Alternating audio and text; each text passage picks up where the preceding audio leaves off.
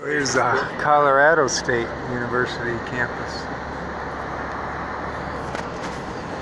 In Fort Collins. Let's take a look.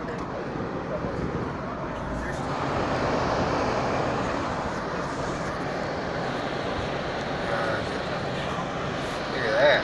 Beautiful. Beautiful day. Out here on the grassy green here. No classes right now because of the virus. Just relaxing. It's like students, so I don't know. Maybe they just stay around here. And the blood test for antibodies, which signals that the person has already been fighting Administration. The idea, hope, is that a positive antibody test That looks nice.